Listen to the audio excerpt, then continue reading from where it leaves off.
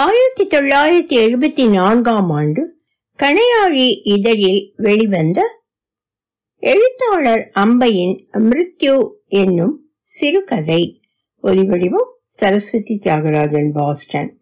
அந்த கடிதத்தை படிக்க இப்போது அவசரம் ஒன்றும் இல்லை அப்பாவுடையதுதான்.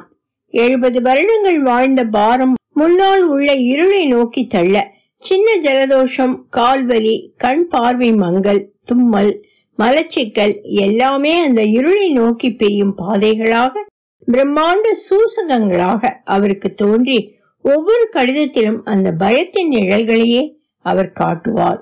அப்பாவின் சாவு பயம் நீண்ட விரல்களாய் விரிந்து வளைந்து கூறிய நகங்களோடு வெட்ட வெட்ட வளரும் சதை தோட்டங்களாய் அவளையும் வளைத்ததுண்டு. ஒவ்வொரு உறக்கத்திலும் தூரத்தில் முணுமுணுப்பாய் பிறந்து பின் ஓங்காரமாய் எழும் கோவில் மணியின் பின்னணியில் தட்டு தடுமாறி நடக்கையில் இருளை கரங்களால் துளைத்துக் கொண்டு முன்னேறுகையில் அது வரும்.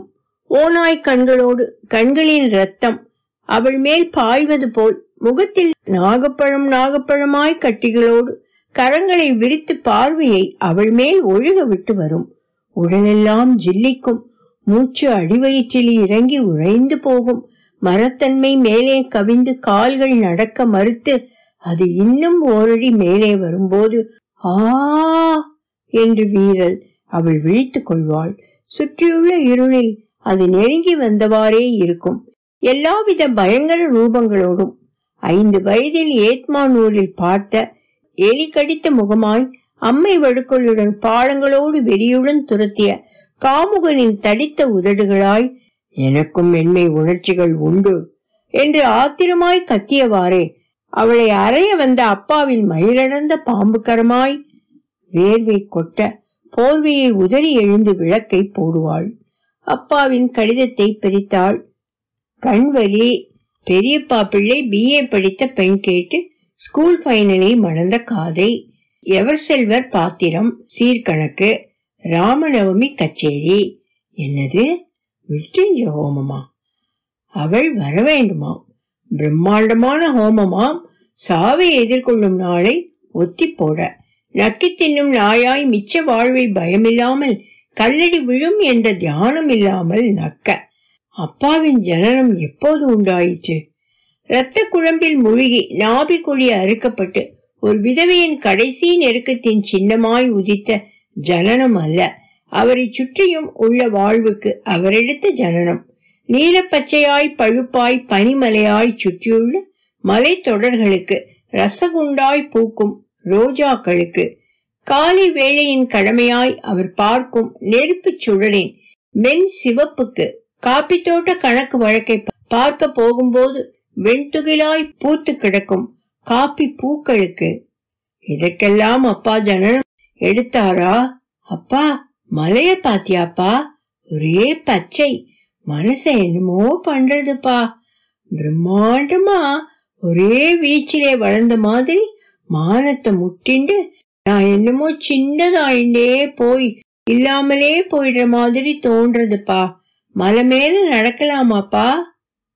அதெல்லாம் வேண்டாமா விழுந்தா எறும்பே கிடைக்காது. உள்ள போயிடு. மலைய பார்த்தாச்சு இல்லையா? உள்ள போயே. ஹோம்ஒர்க் பண்ணு. ராத்திரி வேளை ஐந்து முனைகளை நீட்டிக்கொண்டு வெள்ளி சதங்கை மணிகளாய் பூத்த தாரகைகள் படர்ந்த வானம். மெல்ல மிக மெல்ல அந்த வெண்பஞ்சு இடையில் ஊழ்கிறது அந்த கரு நீளமும் வெள்ளியும் வெண்மையும் உள்ளெல்லாம் ஊடுருவி பாய்கிறது. கண்களில் நீர் பொங்குகிறது. குழந்தை ராத்திரிய பார்த்து பயந்துட்டா அழறா பாரு இருட்டோலியோ என்ன இருட்டு பாரு சுடுகாடு மாதிரி. மலையடி வாரத்தில் ஒரு பஸ் ஸ்டாப்பில் இரவு பஸ்ஸுக்காக அப்பா அம்மா அவள் மூவரும் நின்று கொண்டிருந்த போது இது நடந்தது. எனக்கே பயமா இருக்குடி. எங்கேயோ இந்த ஜெயில் மாதிரி இருக்கிற மலை நடுவுல இருட்டுல இந்த பனியில செத்து வச்சா என்ன ஆகும்? சும்மா இருங்கோ நீங்க. எல்லாவற்றையும் தத்தம் செய்துவிட்ட துறவிகள் போல அகல விரிந்து நீண்டு மகா சுதந்திரத்தோடு படுத்து கிடந்து மலை ஒன்றின் உச்சியில் அதன் கபால பிளவில் அவள் ஒருமுறை ஜனித்தாள். அந்த சிறு பள்ளியில் அவள் ஆசிரியையான புதிது இதுவரை தடை செய்யப்பட்ட மலையின் மேல் அவள் ஏறினாள் விழுந்தால் எறும்பு கூட கிடைக்காது. அப்பாவின் குரலும் மலையேறியது அவளுடன். அந்த தனிமையில் துக்கங்களும் அவமானங்களும் ஏக்கங்களும் துணை வந்தன. அவள் எவ்வளவு சோகித்து போயிருக்கிறாள். ரங்கா மலை மேல் என்னை துரத்துகிறாயா? என்று கேட்டுக்கொண்டாள் கையில் ஒரு மோதிரம் ஏற்றின ரங்கா இந்த அனுபவத்தை வெறும் வார்த்தையா ஆக்காத லீலு. எனக்கு மலையேற பிடிக்கும். உனக்கு ரங்கா? எனக்கு உன் கண்ணை பார்க்க பிடிக்கும். மலை கடல் எல்லாம் அதிலேயே இருக்கு. பிறகு மௌனம் நீண்ட மெத்தண்ட மௌனம். ரங்கா உன்னை பார்த்து ரொம்ப நாளாச்சே. வெளியூர் போயிருந்தியா என்ன? ம் ஆமாம். ராத்திரி வரையா? ஓ ரங்கா உஷ் மெல்ல பேசு பக்கத்து ரூம்ல இருக்கிற பையன் கேட்பான் ரங்கா எவ்வளவு பேசணும் தெரியுமா மோதிரத்தால் அவன் கன்னத்தை வருடினாள் மிக நெருக்கம் ம்ஹும். ரங்கா இன்னைக்கு முடியாது உடம்பு சரியில்லை ஓர் உதறல் அப்படின்னா போ எனக்கு பேச ஒன்றும் இல்லை மெல்ல குரட்டை கேட்டது வெறும் உடம்போடு முதல் முதல் நெருக்கம் ஏற்பட்ட மலைகளுக்கு நடுவேயே அனாதையாய் தள்ளி எரியப்பட்டவள் போல நின்றாள். உடம்பு நடுங்கியது. மலைகள் பொடிந்த கல்லும் மண்ணும் புழுதியுமாய் அவள் மேல் சரிய குருதியும் கண்ணீரும் சீழும் வெகு வெகுநேரம் நின்றாள். பிறகு சென்றாள். மீண்டும் வரவில்லை. ரங்கா என் மனத்திலிருந்து போய்விடு. மலை மேல் ஏறுவது ஒரு புது அனுபவமாக இருந்தது. ஒரு பேய் அறை அப்பா ஒரு முறை அறைந்தார். அவள் அவரை கேட்டே விட்டாள். பூர்ணமா எல்லா ஆவேசத்தோடையும் பிரளயம் மாறி வர அன்போடையும் எதையாவது நீ செஞ்சிருக்கியா அப்பா? அம்மா பக்கத்துல படுத்துன்ற போது கூட நீ என்னத்தை எல்லாம் நினைச்சே? ஜாஸ்தியா சாப்பிட்டுட்ட அப்பளத்தையும் அதனாலே வயிற்றுல கோளாறு வந்தா என்ன ஆகுமோன்னு? பீரோவில இருக்கிற பணத்தையும் கொள்ளை கதவை மூடி இருக்கானும் லைட் எல்லாம் அணைச்சாச்சானும் பால் பொறை குத்தியாச்சானும் ஒன்னொன்னா நினைச்சுண்டே தானே நீ படுத்துண்டே ரெண்டு உடம்புகள் கூடின்றதிலே நான் பிறந்தேன்பா. உற்பத்தி கருவியெல்லாம் பொருத்தின ரெண்டு மெஷின்களாலே தான் பிறந்தேன். உனக்கு மென்மை உணர்ச்சி உண்டாப்பா? ஓங்கி ஒரு அறை. அந்த அறை வலி கண்ணீர் வீட்டை விட்டு வெளியேற்றும். எல்லாம் கூடவே வந்தன. மலை உச்சி விடிகால வேளை பனியும் குளிருமாயிருந்தது. திடீரென தீத்தட்டு ஒன்று பூவை போன்ற மென்மையான ஜுவாலையோடு எதிரே பிறந்தது. அமானுஷ்யமான பிரதேசத்தில் வெகு உயரே வலியோ ரத்தமோ இல்லாமல் அடி வயிற்றிலிருந்து நாபியில் ஏறி பின் தலைவரை ஓடிய ஒரு பேரமைதியில் அவள் ஜனித்தாள். ஜனிப்பிலேயே மறித்தாள் சிறு குழந்தையில் நடந்த அடக்குமுறையில் பிறந்த ஏக்கங்களுக்கு மலைகளை சிறையாக கண்ட அப்பாவுக்கு அவர் அடித்த வலிக்கு ரங்காவின் சொற்களுக்கு மோதிரத்துக்கு ஒரு இரவின் தனிமையில் நேர்ந்த அவமானத்திற்கு அந்த இரவுக்கு முன் பலமுறை பிறந்த குழைவுகளுக்கு உறக்கத்தில் துரத்திய பயங்களுக்கு எல்லாவற்றுக்கும் மறித்து பின் ஜனித்து அவள் தங்க கிரணங்களில் நீராட்டப்பட்டு கீழே இறங்கி வந்தாள். அப்பா ஜனித்திருக்கிறாரா? பாலக்காட்டில் சிறு கிராமம் ஒரு விதவையின் ஐந்தாவது பிள்ளையாக அப்பா பிறந்தார். அவர் அம்மாவுக்கு தன் கணவனின் சாவை நித்தியம் நெஞ்சில் ரணமாய் கிளறும் ரூபத்தோடு பிறந்தார். யாரும் தோளில் தூக்கி கூத்தாடும் அளவு சாமர்த்தியசாலியாக இல்லாமல் சாதாரண ஒரு குடுமி பையனாக படித்தார். பின்பு ஒரு குமாஸ்தா அவர் ஃபைல்களை நன்றாகவே படித்திருப்பார். ஒரு அரசாங்க உண்மை ஊழியனாகவே இருந்திருப்பார். ஆங்கிலேய ஆபீசரின் வாயில் பிறக்கும் சொல்லுக்கு கும்பிடு போட்ட ஒரு நல்ல பிராமண அடிமையாக இருந்திருப்பார். அவர் நாணயஸ்தனாகவும் இருந்திருப்பார். பிடிபடுவோமோ என்ற பயத்தில். ஒரு நல்ல சுப வேளையில் ஒரு பெண்ணை மணந்து கொண்டார்.